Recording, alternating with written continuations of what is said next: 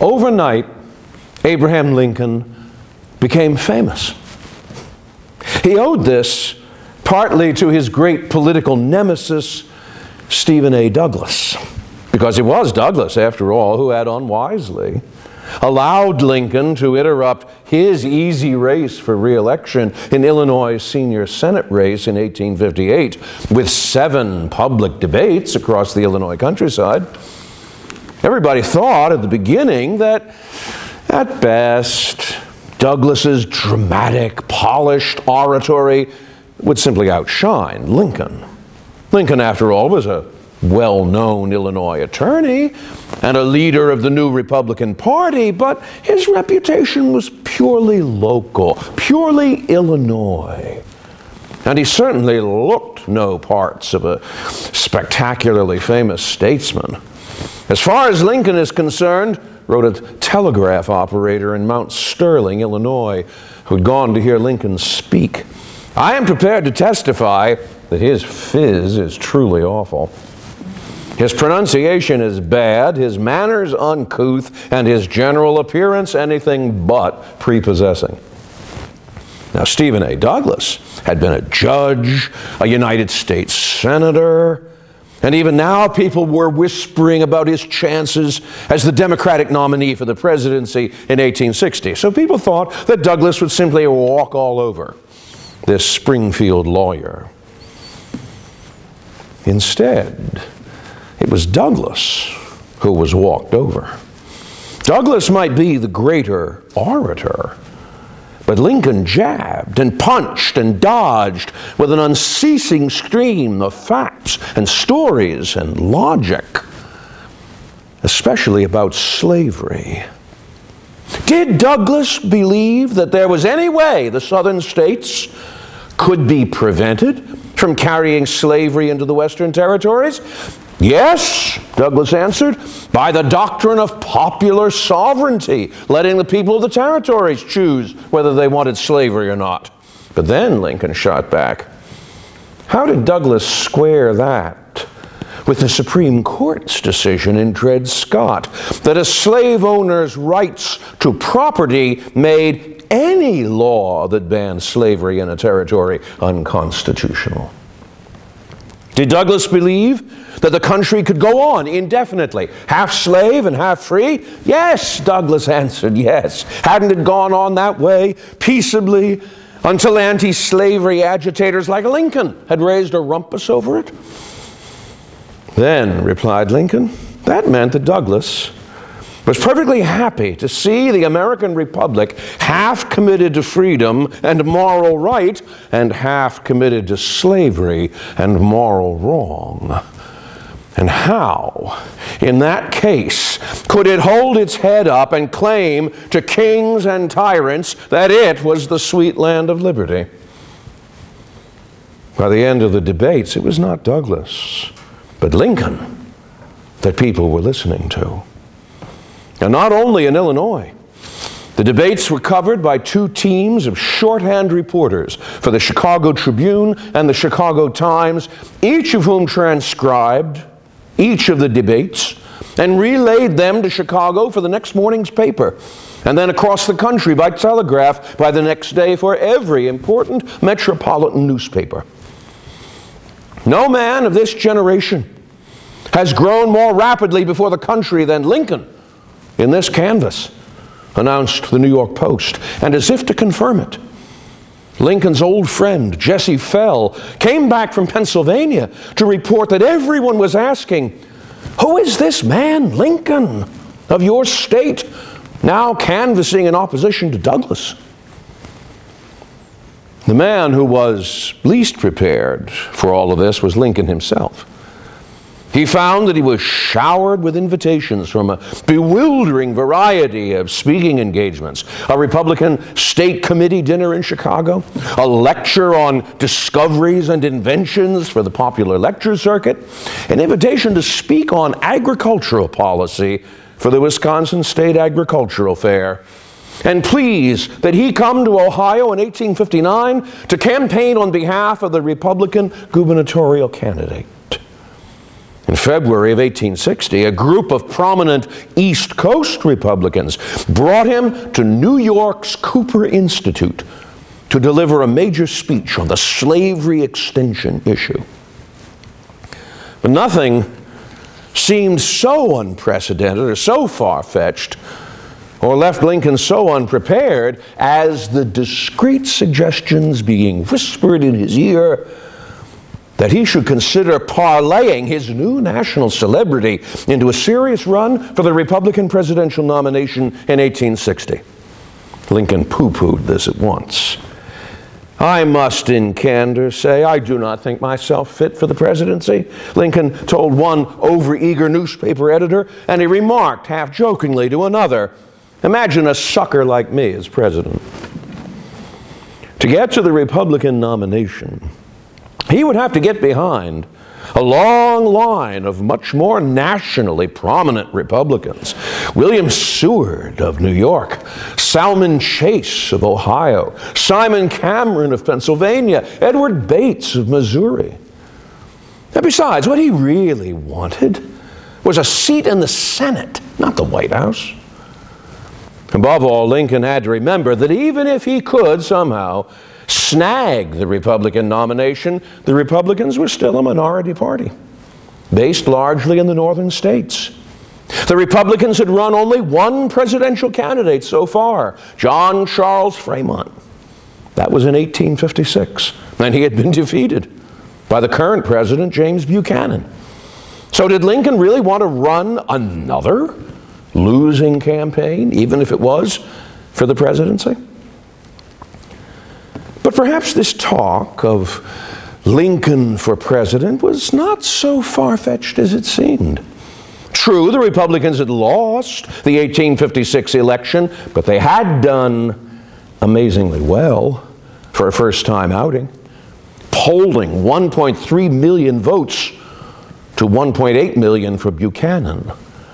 And everyone who could do math in their head knew that the only reason the Republican total had stopped that short was because the last remnant of the old Whig Party had run Millard Fillmore as a spoiler candidate. And Fillmore had siphoned off 800,000 old time Whig voters who might otherwise have gone to the Republicans. If the Republicans were careful and nominated a one time Whig themselves, who was known to be a moderate but firm opponent of slavery extension, not an outright abolitionist, and a Westerner to boot, then the Republicans might be able to capture the presidential flag in 1860. They might also have less opposition from the Democrats, too. In October of 1859, a white abolitionist radical named John Brown with two dozen followers, staged a raid on the federal arsenal at Harper's Ferry, Virginia, hoping to loot enough weapons to arm a slave uprising that would ignite the entire Upper South in slave rebellion. Brown and his raiders were surrounded and captured by Virginia militia and the U.S. Marines before slipping out of Harper's Ferry, and Brown was hanged in December on a charge of treason against the Commonwealth of Virginia. But the entire slaveholding South trembled under its beds at the thought of John Brown. There had only been a handful of slave rebellions before this. Gabriel Prosser's rebellion in 1800, Denmark Vesey's rebellion in 1822, the bloody insurrection led by Nat Turner in 1831. But all of them had lacked weapons and organization and had been quickly put down. John Brown's raid was different. It was led by a white man, a veteran of abolitionist radicalism. It was backed as it turned out upon investigation, by New England money, and it was quite well aware of how to obtain weapons. The slave-holding South went berserk with demands for security from the North, suppression of abolitionism, and assurance for the free spread of slavery into the Western territories. And the place where these demands and this pressure were going to be felt the hardest was on the Democratic Party, which had for decades been the chief protector of slaveholding interests. Frightened and fiery Southerners demanded that the Democratic Party nominate a committed pro slavery candidate. Write a committed pro slavery platform. Cut itself off from compromise with anti slavery Northern Democrats. And otherwise put down the vision of John Brown. When the Democratic Party's presidential nominating convention met in April of 1860, a violent fight over the party platform broke out. And eight Southern state delegations walked out of the convention. The convention adjourned helplessly, wondering what to do next. They reassembled in June and nominated Stephen A. Douglas for the presidency. But the Southern delegations refused to attend the June convention. Instead, they organized their own convention and they nominated, in opposition to Stephen Douglas, an alternative pro slavery presidential candidate, John C. Breckinridge. As a result, in 1860, the Democratic political machine lay in two smoking pieces. And the way was clear for a Republican victory if the Republicans wisely picked a candidate who avoided any identification with John Brown, who might be a veteran Whig, and who stressed moderation. Well, to the friends of Abraham Lincoln, this description looked like no one so much as Abraham Lincoln. And by the spring of 1860, even Lincoln himself was allowing himself to be half persuaded that this just might be possible. As you request, I will be entirely frank, he told Lyman Trumbull. The taste is in my mouth a little. And this no doubt disqualifies me to some extent to form correct opinions. You may confidently rely, however, that by no advice or consent of mine shall my presentations be pressed to the point of endangering our common cause. But there was still that tremendous queue of better known Republicans to overcome Seward, Chase, Cameron, Bates. What would be key to success for Lincoln would be, first of all, location. Where would the convention be held? And second, could the other rival candidates be painted as so unacceptable that Lincoln might be the choice that everyone else turned to on the rebound. Lincoln's friends, in this case the Illinois State Republican chairman, Norman Judd, Richard Oglesby, the organizer of the Illinois State Convention, and Illinois State Judge David Davis, turned both of those keys. Judd persuaded the Republican National Committee to bring the nominating convention to Chicago, to the Wigwam, as the city's new convention center was known, and thus to Lincoln's own home court. Oglesby arranged for a state Republican convention at Decatur, Illinois, on May 9th, that gave a tumultuous pledge of the entire Illinois delegation to the National Convention to Lincoln. And to top it off, Oglesby arranged for Lincoln's cousin, John Hanks, to appear at the state convention hefting two fence rails, which Hanks claimed that he and Lincoln had split for fences 30 years before in Illinois. The convention hailed the rails and Lincoln as the rail splitter candidate, which of course was exactly what Lincoln had been trying not to be thought of for the past 30 years. But nevertheless, he became the rail splitter, a man fresh from the people, a common man full of the common man's interests. And when the National Convention assembled in Chicago on May 15th, David Davis orchestrated a full court press on the convention delegates. By the time the convention went to balloting, William Seward was nominated first and jumped out to an immediate lead of 173 out of the 233 votes needed to nominate. But Lincoln was nominated second. And to the shock of the Sewardites, pulled in 102 votes, with a variety of other votes going to favorite son candidates. The second ballot upped Seward's total to 184, but gave Lincoln a dramatic push to 181. The third ballot was called for, and Seward's numbers began to flake and shed until finally the Ohio delegation, led by Judge David Cartter, stood up and announced the switch of its vote to Lincoln and gave him the nomination. The uproar in the wigwam, said one Cincinnati journalist, was so enormous that you could have taken an acre of hotel gongs and a tribe of wild Comanches and never noticed them in the middle of the convention. The Sewardites were aghast. Davis and Lincoln's friends were jubilant. And Lincoln, waiting for the news in Springfield, read the telegraph slip in the office of the Illinois State Journal and excused himself, saying, Well, gentlemen, there is a little woman at our house who is probably more interested in this dispatch than I am. Lincoln's nomination was so unexpected that at first several major national newspapers had trouble spelling his name. That's a problem I usually have.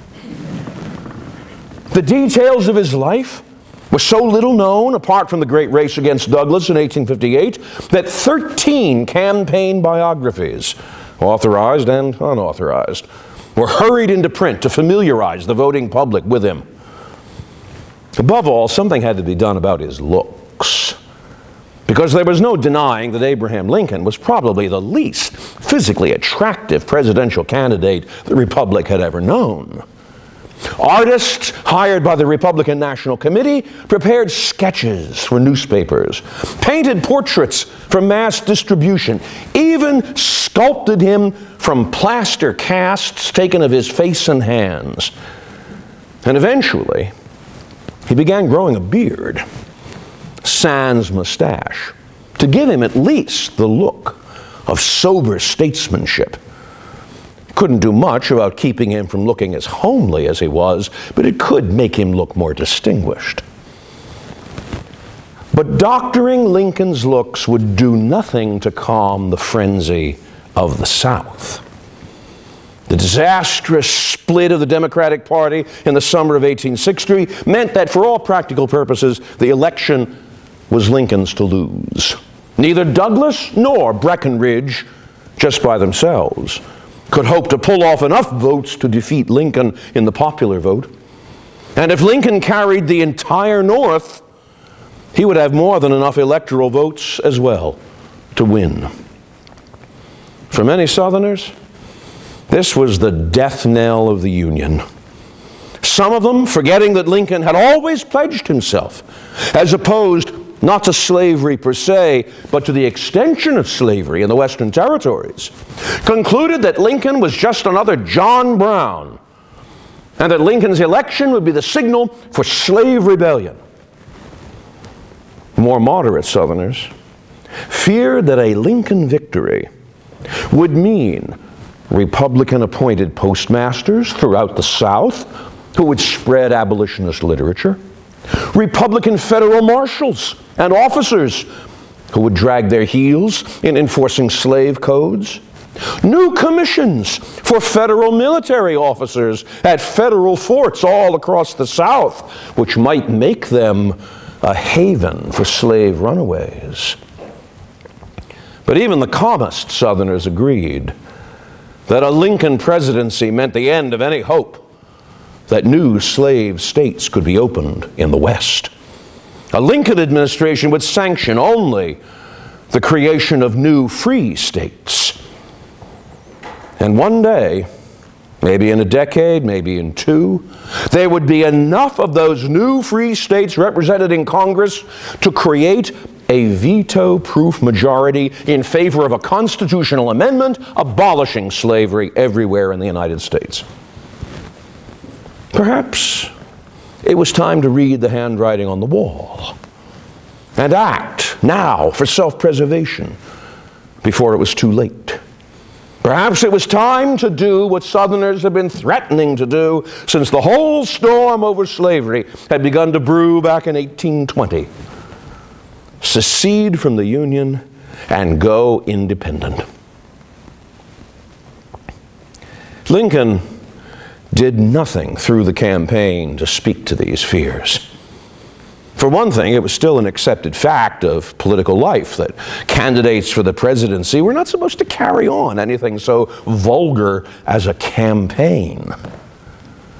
Instead, Lincoln remained in Springfield and addressed delegations that came to him for statements and advice, but even then he refused to issue any kind of statements about the uneasy situation that people expected. The Republican National Committee, eager that Lincoln say nothing which could be twisted into a radical abolitionist declaration by some enterprising reporter, instructed Lincoln to say nothing, period, on any public issues, and simply refer people to his already published statements.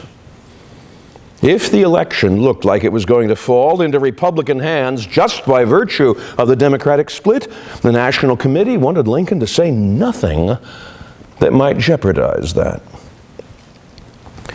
But fundamentally, Lincoln said nothing during that long election summer because he himself believed there was nothing to say. He did not, in his heart of hearts, really believe that the South was serious about the threat of secession. These kinds of threats had been issued before, and nothing had come of them. They would be issued again, and nothing would come of them the next time as well.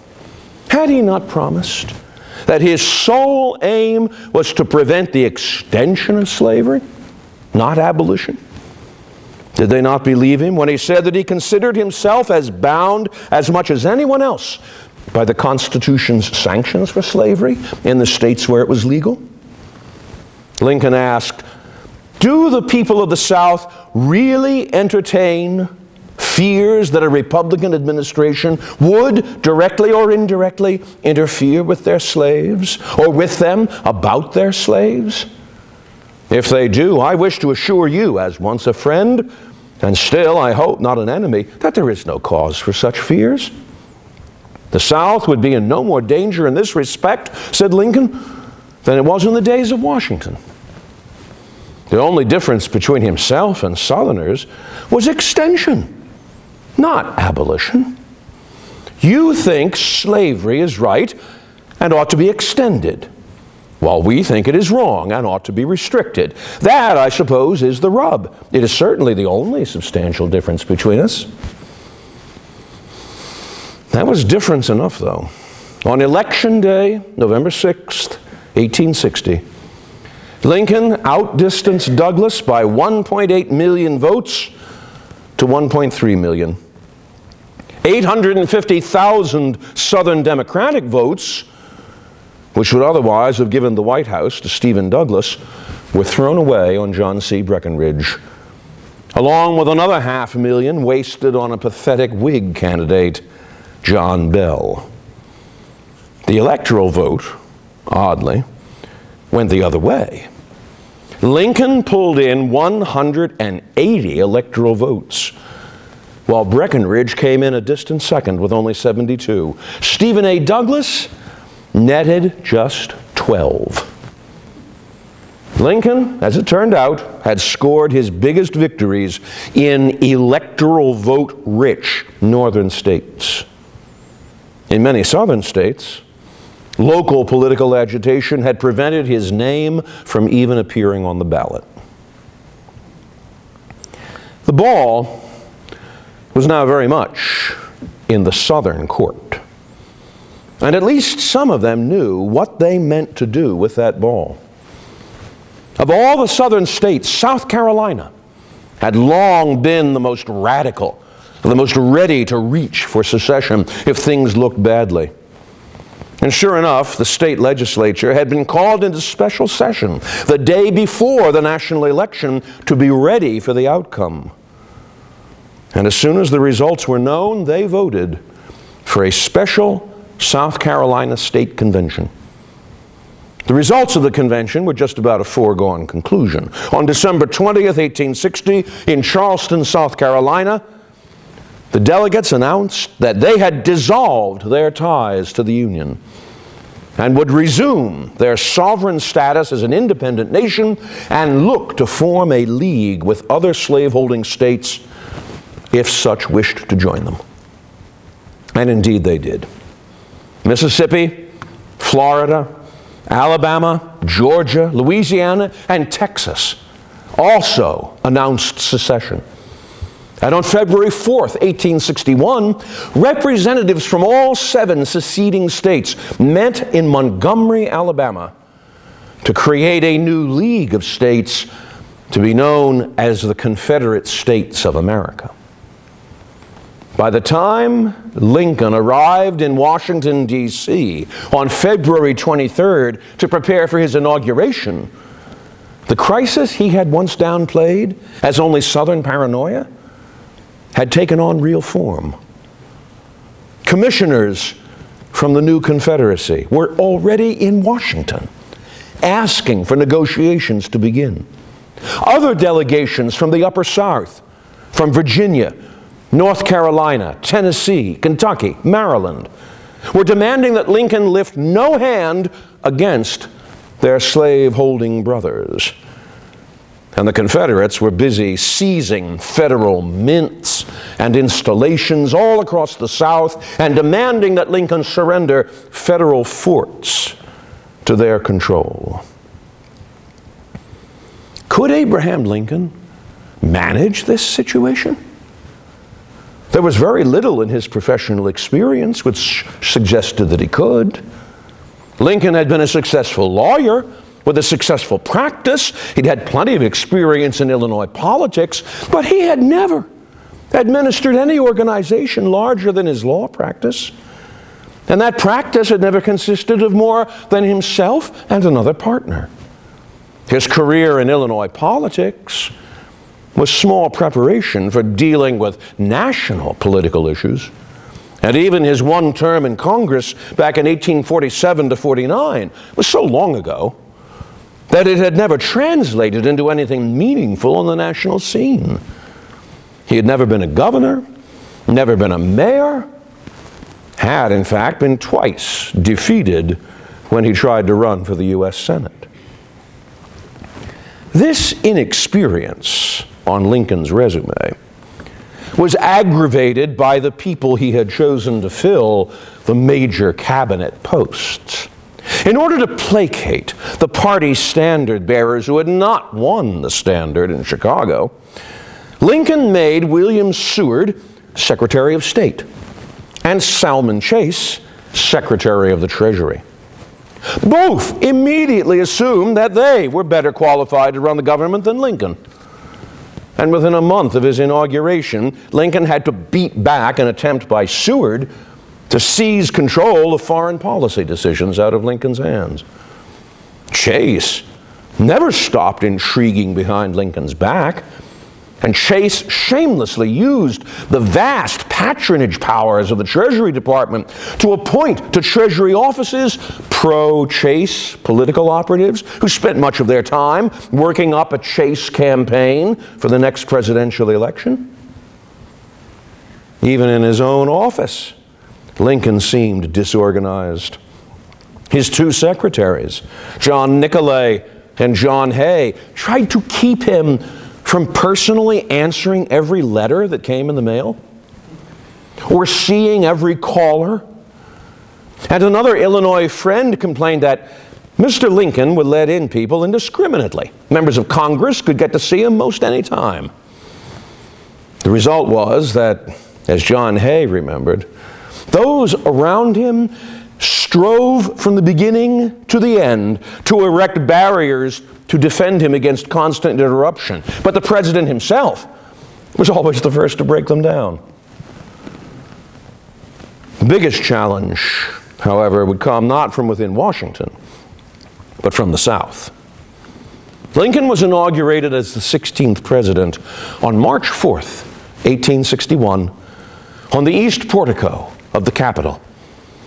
In his inaugural address, he patiently repeated his basic position. He would oppose any new extension of slavery, but he would not interfere with slavery in the states where it was now legal. He even offered to support a constitutional amendment making that protection explicit in the Constitution. But he would never recognize the legality or even the possibility of state secession from the Union. He closed with an eloquent plea to the southern states to rethink their rash actions. We are not enemies, but friends. We must not be enemies. Though passion may have strained, it must not break our bonds of affection. The mystic cords of memory stretching from every battlefield and patriot grave to every living heart and hearthstone all over this broad land will yet swell the chorus of the Union when again touched, as surely they will be by the better angels of our nature. The eloquence did no good. In rebellious South Carolina, elements of the South Carolina militia and the new army of the Confederate States seized the federal arsenal and two of the federal forts in Charleston Harbor. The third of those forts, Fort Sumter, was not so easily overrun because it stood on a spit of rubble by itself in the middle of the Charleston ship channel. But the tiny garrison in Fort Sumter had no way of supplying itself. And Lincoln had no sooner taken his oath of office than he was confronted with the worst possible decision allow Fort Sumter to be starved into surrender or force a resupply mission into the harbor and risk triggering a shooting incident. If he let Sumter surrender, his presidency was, politically speaking, over before it began. On the other hand, if the Confederates began firing at a resupply mission, flying the United States flag, that would be an act of war that he could not ignore. And yet, if he called out the army, or if he federalized the state militias against the Confederates, would he be able to count on the support of the upper South states? Maryland, Virginia, North Carolina, Kentucky, Tennessee? Or would that push those states into secession as well and into the arms of the Confederates? Instinctively, Lincoln tried to compromise. He would send a resupply mission to Fort Sumter, but it would carry only food and medicine, no war supplies. And he promised representatives from Kentucky and Virginia that if their legislatures would abandon any notions of secession, he might even allow for a negotiated settlement of the future of Fort Sumter. Neither suggestion worked. As soon as the Confederate artillery around Charleston Harbor learned of the proposed resupply mission, they demanded Fort Sumter's immediate surrender. When the fort refused, the Confederates opened fire at 4:30 a.m. on April 12, 1861, and forced the battered federal garrison to surrender. That ended all hopes of negotiating with the Confederates.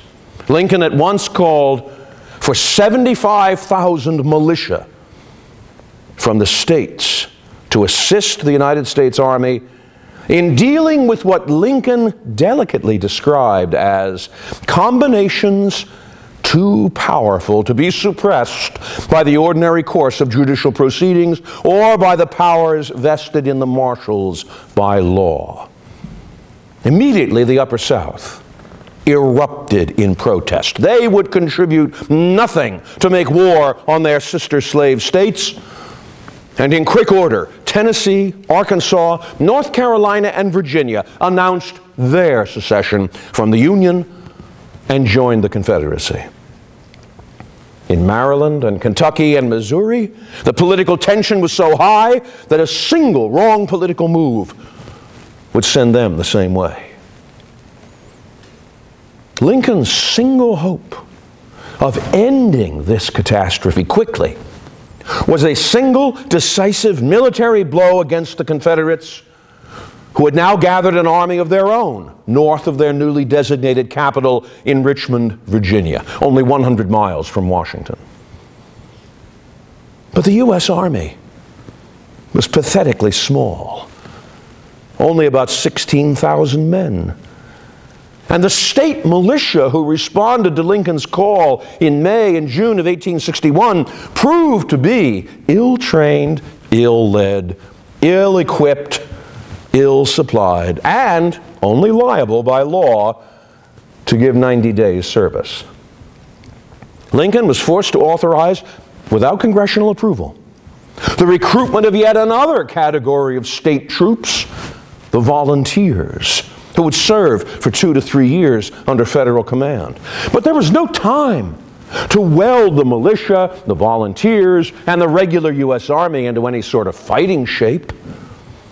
And when they marched south to do battle against the Confederates, they were met just below Washington at a small stream known as Bull Run.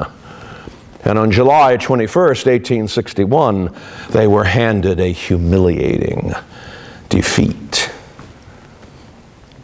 For Lincoln, the day after Bull Run was Black Monday. There would be no easy solutions to this crisis after all. It would have to be resolved by war. And war on a scale grander than anything the United States had ever known.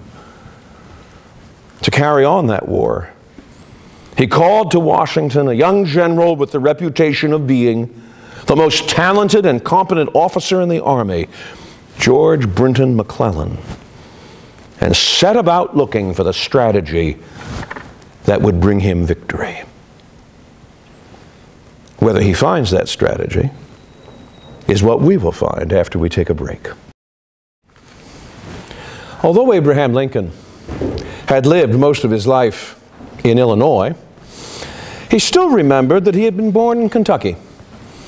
And he liked to think that he had a special insight and empathy for Southern ways of thinking.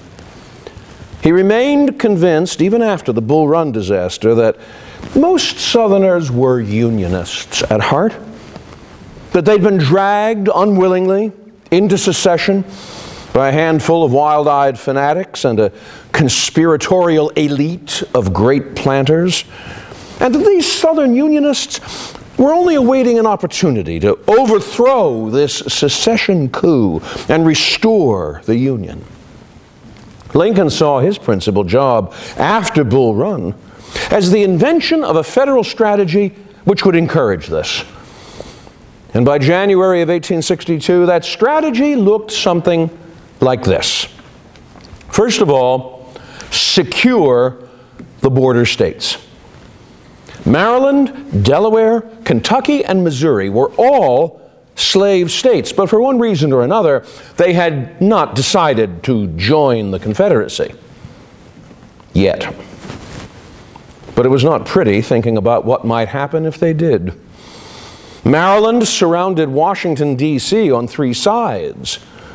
And if it went Confederate, Lincoln and the national capital would be in a hopeless position. Kentucky bordered half of the Ohio River. And Missouri bordered a third of the Mississippi River. And without any free control of those rivers, the economy of the Northwest was finished.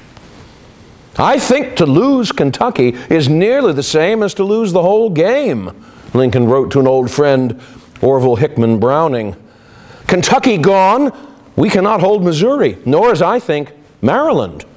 These all against us, and the job on our hands is too large for us. We would as well consent to separation at once, including the surrender of this capital. Delaware, with less than 2,000 slaves, was no serious problem, but the other three were.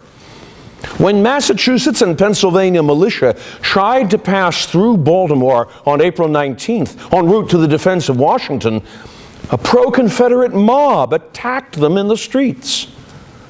In Kentucky, a pro Confederate governor, Beriah Magoffin, called out his state's militia, but not for Lincoln's benefit. Kentucky, Governor Magoffin announced, will furnish no troops for the wicked purpose of subduing her sister southern states. Kentucky's militia would act in the defense of Kentucky. And Magoffin announced that henceforth his state would remain neutral.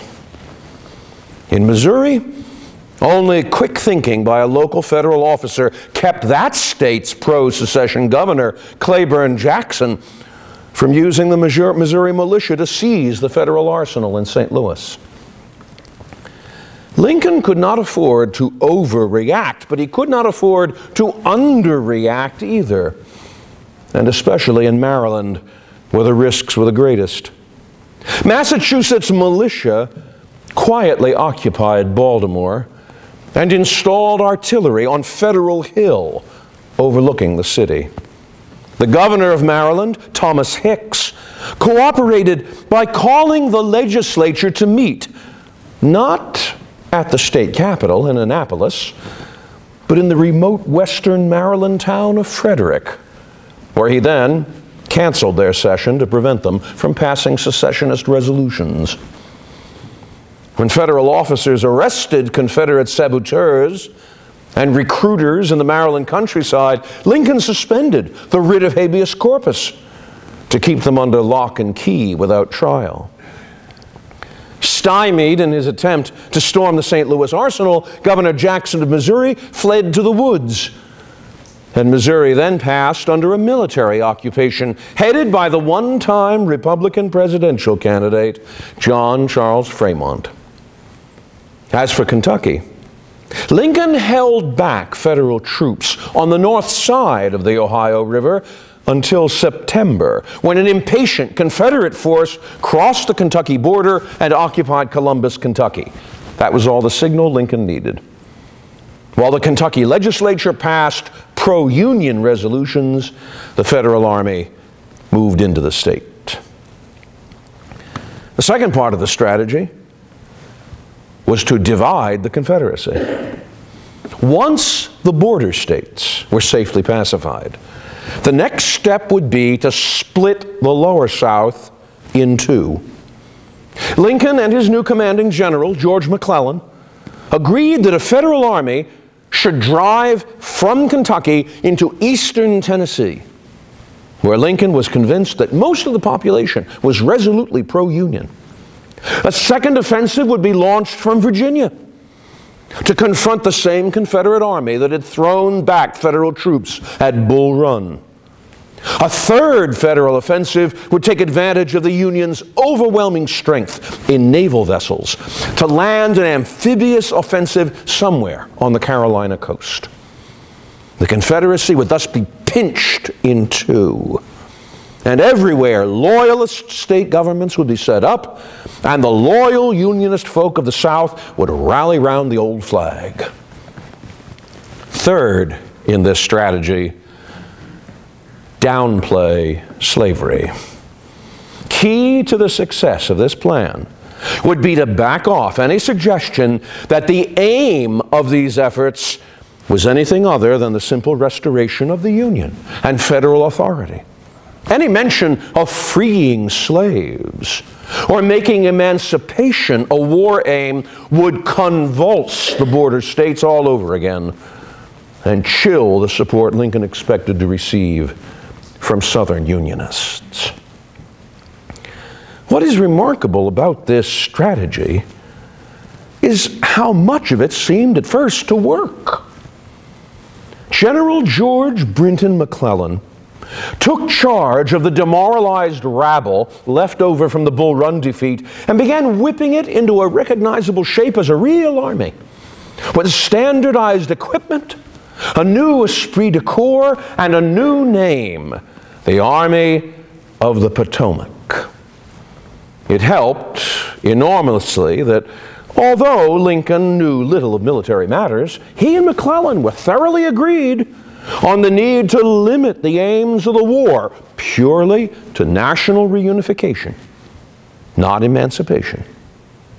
McClellan, who was a Northern Democrat, treated secession as treason, but he blamed secession as much on the provocation of Northern abolitionists as on Southern fanatics. I am fighting to preserve the integrity of the Union and the power of the government, and for no other issue, McClellan wrote to a political ally. And McClellan was relieved to find that the president is perfectly honest and is really sound on slavery. Piece after piece of Lincoln's and McClellan's grand strategy succeeded more easily than either Lincoln or McClellan could have dreamt. In January of 1862, a federal naval expedition seized control of the Hatteras Sound and quickly captured control of the North Carolina coast. In February, a stumpy, undistinguished, former regular Army officer named Ulysses S. Grant led a combined expedition of federal troops and naval gunboats up the Tennessee River, where he captured first one Confederate fort, Fort Henry, and then another, Fort Donelson on the Cumberland River. The entire western flank of the Confederacy crumbled and Confederate troops beat a disorganized retreat all the way south to northern Mississippi, abandoning all claim to Kentucky and western Tennessee. Lincoln's Secretary of War, Edmund M. Stanton, was so confident that the end of the Confederacy was at hand that on April 1st, 1862, Stanton ordered Army recruiting stations closed down. They wouldn't need any more help. But all of this, as it turned out far too quickly, was really just wallpaper over some very serious cracks in the Union plaster. In the first place, the easy agreement Lincoln and McClellan thought they had on policy issues was less substantial than it seemed. McClellan wanted hands off slavery because he was personally indifferent to the oppression of slavery. Lincoln favored hands off for the practical reason that he could not afford stampeding the border states. He told Maryland Congressman John Crisfield that he did not pretend to disguise his anti slavery feeling, that he thought it was wrong and should continue to think it so, but that was not the question we had to deal with now. On the other hand, if the border states wanted to take some action of their own about ending slavery, Lincoln would do everything in his power to aid them. And in December, he actually drew up a compensated emancipation scheme for Delaware, which granted the state $700,000 in government bonds to finance the emancipation of all of Delaware's slaves over the following 32 years. In March of 1862, Lincoln drafted a resolution for Congress endorsing government compensation for emancipation in the border states on the grounds that voluntary emancipation in the border states would end all hope of the Confederates ever wooing the border states to their side. Not only was Lincoln thinking about emancipation and thinking different thoughts about it than George McClellan, but he had a growing faction in Congress which was talking about it, and pretty publicly. When the Confederate States seceded from the Union, they, of course, withdrew their representatives and senators from Congress as well. Since all of these withdrawals were Democrats, this meant that the Congress Lincoln called into special session to deal with the war on July 4, 1861, held a conveniently lopsided majority of Lincoln's own Republicans. And the leading edge of this Republican majority were radicals on the slavery issue. Zachariah Chandler of Michigan, Ben Wade of Ohio, Charles Sumner of Massachusetts. People who would otherwise have been shouldered onto the margins of political power by Southern Democrats. Now the Southern Democrats were gone. And the radicals were as impatient on emancipation as McClellan was complacent. After the Bull Run fiasco, they began straining every effort to turn the direction of war policy towards emancipation. In August of 1861, the Senate adopted a Confiscation Act, which permitted the federal government to confiscate as lawful subjects of prize and capture, in effect, to liberate any slaves whom the Federal Army found working as laborers or teamsters for the Confederate Army. The following July, Congress passed a second Confiscation Act, which liberated by decree any slaves belonging to officers of the Confederate government or armed services, or anyone actively serving the Confederate cause. All that the radicals wanted now was for Lincoln to press the issue to its conclusion and strike slavery down with one presidential blow. But a single presidential blow was precisely what Lincoln hesitated to give. He did not share the enthusiasm of the radical Republicans that slavery could be undone all at once. Slavery, Lincoln believed, was a complicated economic and racial system which had taken 200 years to grow up in the United States. And Lincoln believed that it could never be successfully taken apart unless the process was, first of all, gradual in other words, freeing slaves by age cohorts and providing employment apprenticeships to ready them for entry into the free market. Second, it had to be voluntary. Slave owners themselves needed to be involved in the process and giving their assent. And it had to be, thirdly, compensated. Because slaves, rightly or wrongly, were the Southern economy's single biggest capital investment. And the sudden disappearance of that investment by a single stroke emancipation would bankrupt the South and, very likely, disrupt the entire national economy. Besides, Lincoln knew full well that he had, as president, no constitutional authority to emancipate slaves. Slavery was a matter of state enactments, of state statutes, passed by state legislatures, and he had no powers as the federal executive to meddle in state affairs. Only the emergency of war could give him or Congress any power to emancipate anyone on the grounds that such emancipations were useful for promoting the war, the equivalent of confiscating enemy supplies or property. As it turned out, there was another factor limiting Lincoln on emancipation, and that was General McClellan. In the months after the disaster at Bull Run, McClellan worked an organizational miracle in creating the new Army of the Potomac and readying it for a campaign against Richmond. The problem was that McClellan readied and readied and readied, but never marched. Autumn turned to winter, and winter to the spring of 1862, and McClellan made no significant moves.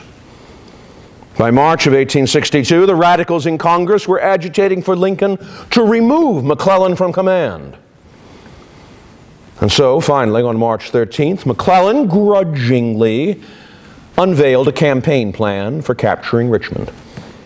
Rather than marching overland across the Potomac and fighting his way down to Richmond, McClellan would imitate the successful amphibious operation that had captured the North Carolina coast and move the entire Army of the Potomac by water down the Chesapeake Bay, land it on the James River Peninsula, just miles below Richmond, and seize the Confederate capital before the rebel army in Northern Virginia knew what was happening. It was a great plan. But McClellan was not the man to manage it. Great organizer that he was, he was a mediocre combat leader.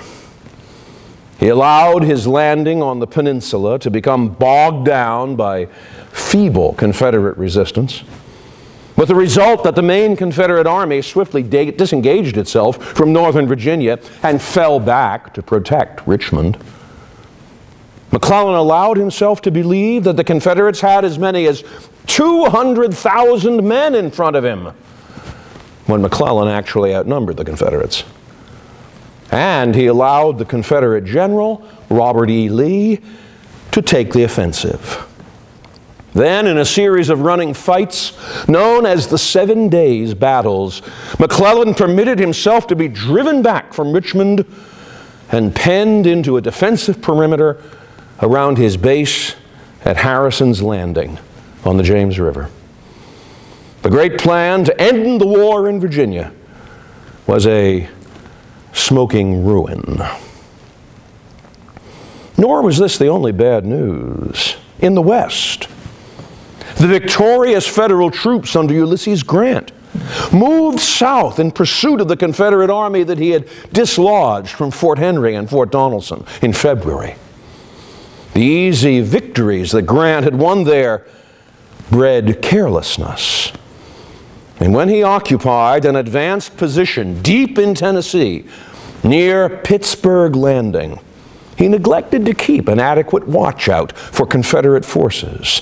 The Confederates, in fact, had caught their second wind, and on April 6, 1862, they savagely struck at Grant's unprepared encampment at Shiloh Church in a blindingly confused two day battle.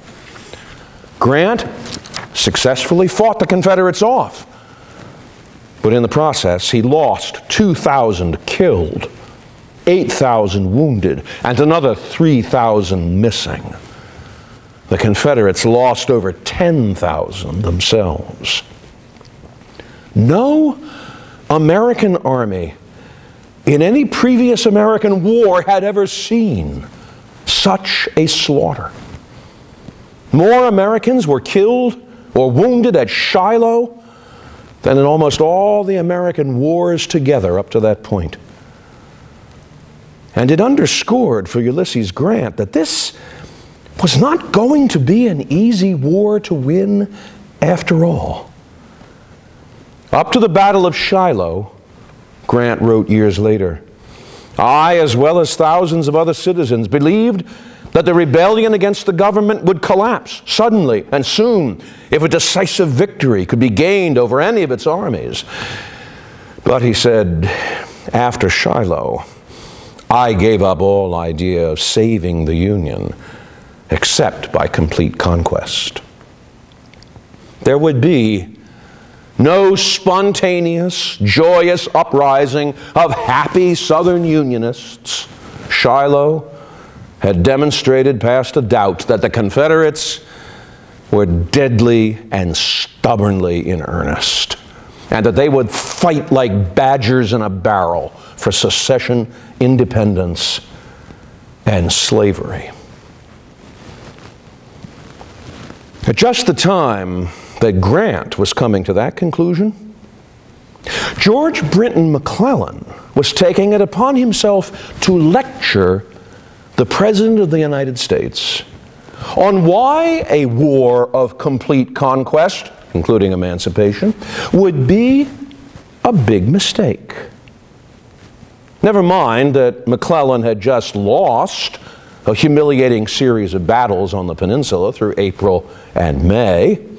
Never mind that by the end of June, an outnumbered rebel army had him pinned down at his Harrison's Landing depot.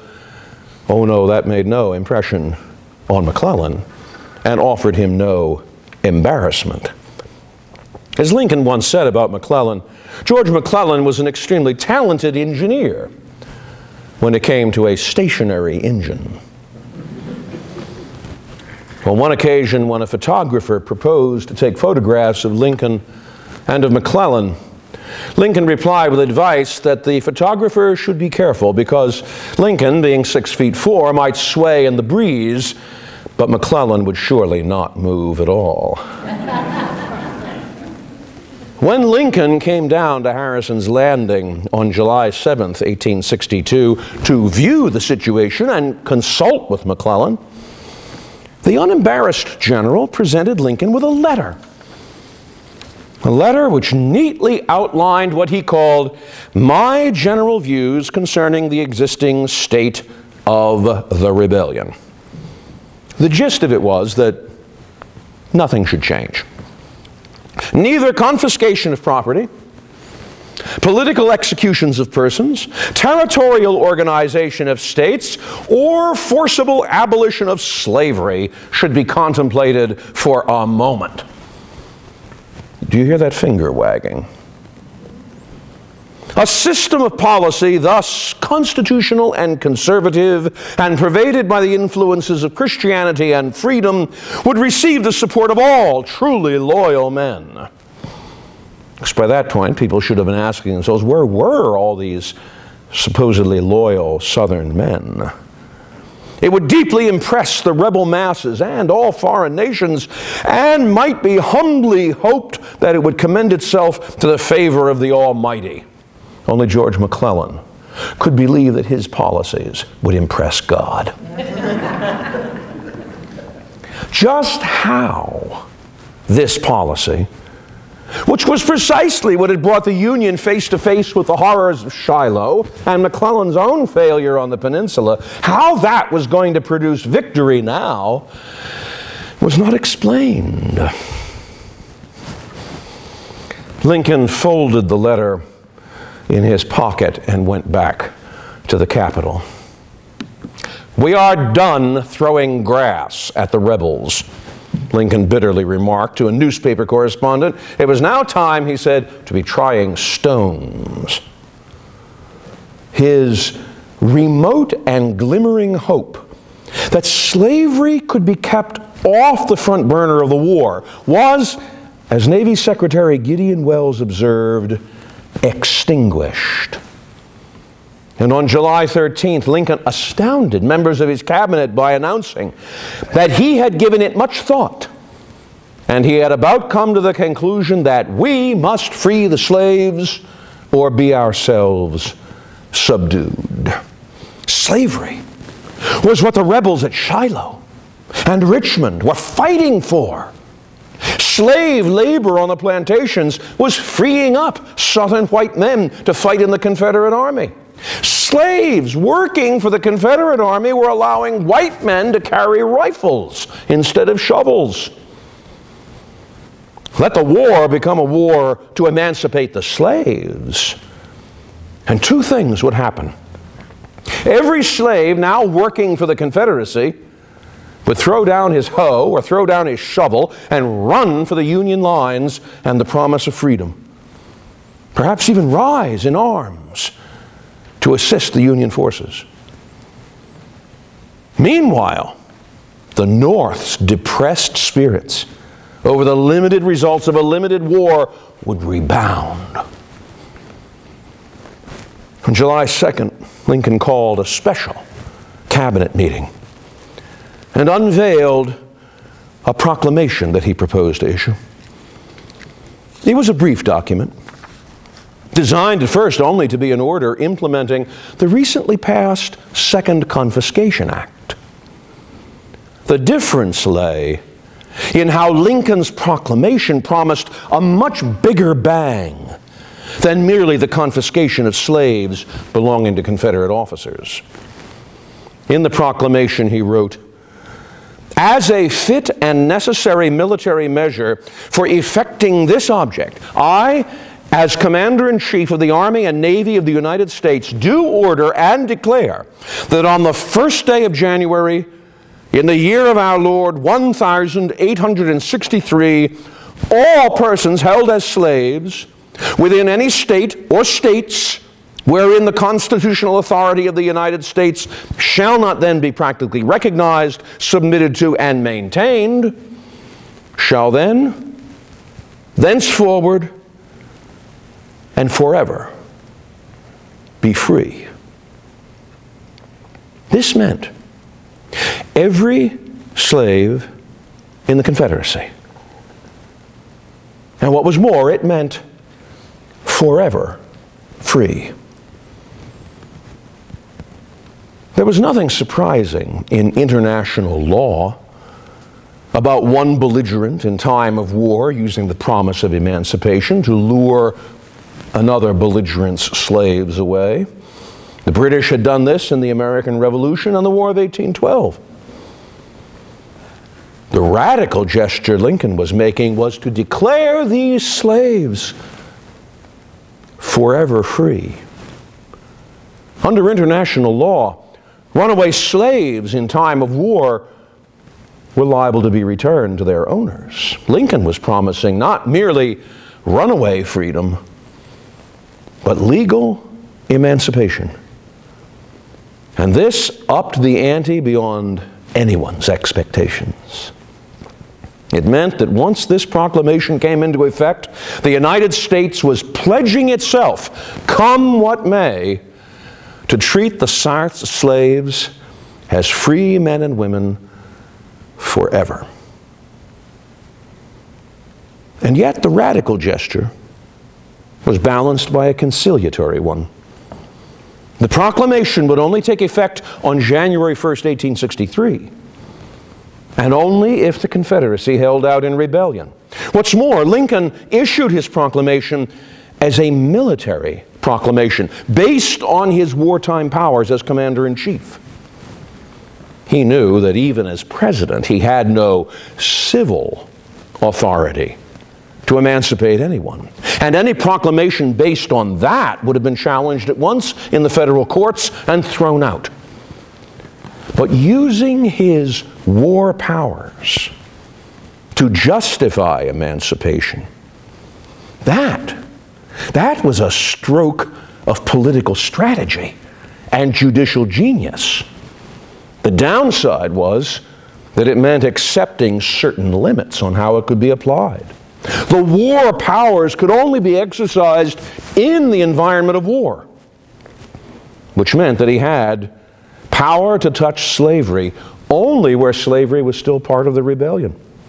In the border states, where slavery was still under normal civil law, and in the places in the Confederacy, like Western Tennessee, where federal law had been reestablished, there was nothing by war power or civil process that he could do about slavery. And so those areas were excluded from the application of his proclamation. And yet, even with these limitations, emancipation made members of his cabinet gag. Secretary of State Seward shrewdly observed that, however right the proclamation might be, the timing was terrible. The war was going nowhere in the West. McClellan was obstinately sitting on the peninsula, and a proclamation like this, at this moment, would, said Seward, be viewed as the last measure of an exhausted government, a cry for help, our last shriek on the retreat. Lincoln yielded to Seward's logic and filed the proclamation away to await a federal military victory. But would one come? Not from McClellan, in all likelihood. So Lincoln set about organizing a new federal army around Washington from bits and pieces of the Washington garrison and from elements of McClellan's own army that he ordered back to the capital. This new army was to be called the Army of Virginia, and he gave command of it to a hard fighting Illinois abolitionist named John Pope. But instead of giving Lincoln the victory he needed, Pope walked into a gigantic ambush arranged by that master Confederate tactician, Robert E. Lee, on the old Bull Run battlefield on August 29, 1862. Lee then bounded from that victory into a full scale invasion of Maryland. And once again, it looked as though the border states might be tottering in the balances. This was not the way this war was supposed to have gone. And in search of some form of an answer, Lincoln's private meditations turned back to the mysterious and inscrutable God of his upbringing. The will of God prevails, Lincoln wrote. That much everybody had to admit, unless they thought they were greater than God. However, in this war, both sides claimed they represented the will of God. Now, it was illogical to suppose that God was on both sides. He could not believe that God was on the side of slavery, and yet God did not seem to be on the side of the North either. But it might be the case that God's purpose is something different than the purpose of either party.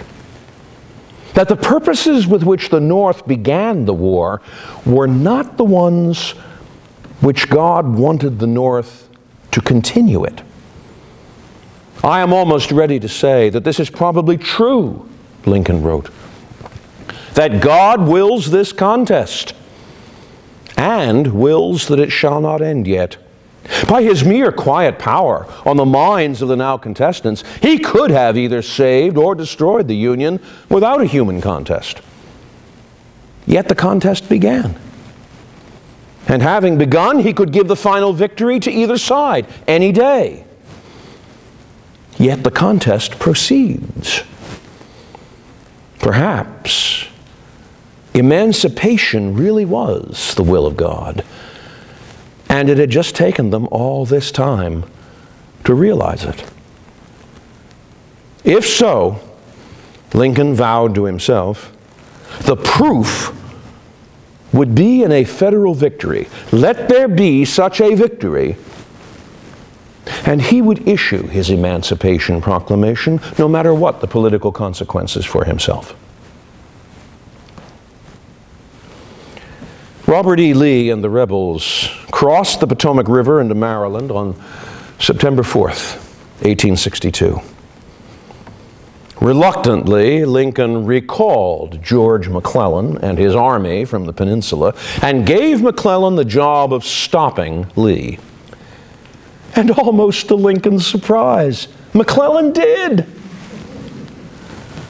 In a savage all day battle across Antietam Creek in western Maryland, McClellan and Lee beat each other's armies into near exhaustion. And the next evening, Lee and the Confederates withdrew back across the Potomac. It was not a total victory. McClellan's political and military inertia reasserted itself, and he failed to pursue Lee into Virginia. But it was victory enough. On September 22nd, five days after the Antietam battle, Lincoln reassembled his cabinet and told them, frankly, that he had made a vow, a covenant, that if God gave us the victory in the approaching battle, he would consider it an indication of the divine will and that it was his duty to move forward in the cause of emancipation. On the strength of that vow, he would now make the Emancipation Proclamation official. The war had now shifted on its hinge. The great question from this moment forward would be could Lincoln win it? And that is what we will see in our final installment on March 5th. See you all then.